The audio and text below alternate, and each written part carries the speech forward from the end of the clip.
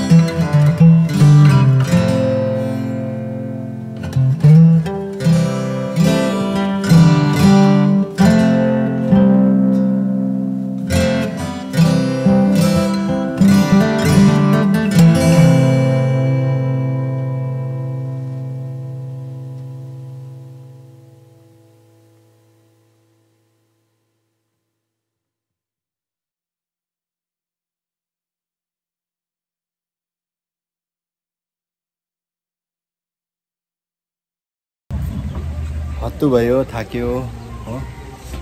Now want to eat something hungry now Go home ASAP. I'm too tired. अघि चाहिँ एकदमै excited भएर चाहिँ यिनीहरू तमास परिरहेको थियो। अहिले चाहिँ स्विमिङ गरेर पुरा थाकेको छ। अहिले चाहिँ घर जानु मन लाग्यो भनेर चाहिँ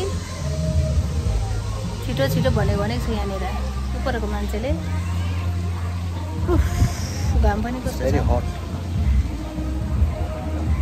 भेरी हट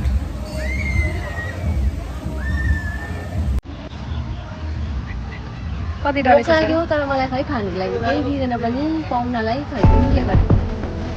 अनके तिम्रो नाक देखाएर त कस्तो भएछ? नाक मिचरेकोले स्विमिङ गर्दा डढेर मान्छेहरू नाक पनि डरै लाग्दा कालो बनाएको छ निचरे। गरमको बेलामा त खालि पानीमा त्यस्तो हेर्नु मन लाग्छ हौ। कस्तो राम्रो देखियो यहाँनिर। फाउन्टेन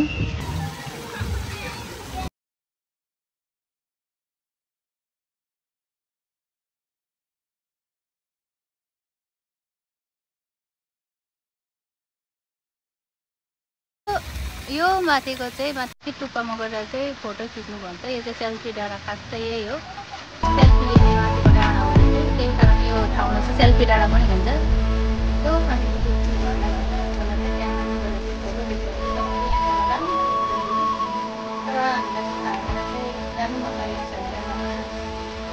जानु छ। अवस्था छैन।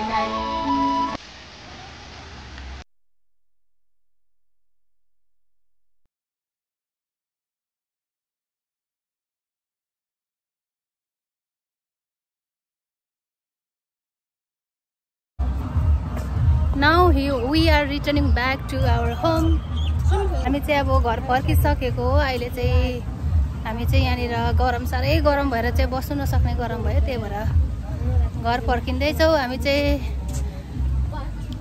हाम्रो घरदेखि चाहिँ यो स्विमि यो सेल्फी डाँडा चाहिँ आधी घन्टा जस्तो आधी घन्टा पैँतालिस मिनट जस्तो लाग्छ होला। हामी दुईजना चाहिँ म र मेरो भदै